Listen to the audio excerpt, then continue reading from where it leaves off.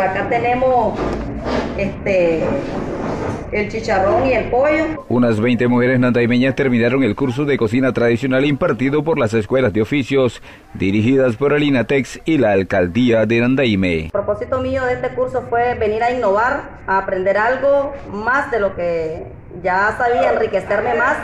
Pues primeramente gracias a Dios, ¿verdad? Porque nos permitió llegar a, a finalizar este curso tan bonito que compartimos todas nosotras porque gracias a, que él ha ampliado estos cursos, ha ampliado estas escuelas de oficio, hoy tenemos oportunidad de aprender más, de emprender, de superarnos. Porque algo que aprendí, no se me va a olvidar, es que eh, nos dio, nos dijo, ustedes pueden ser creativas, no tengan temor.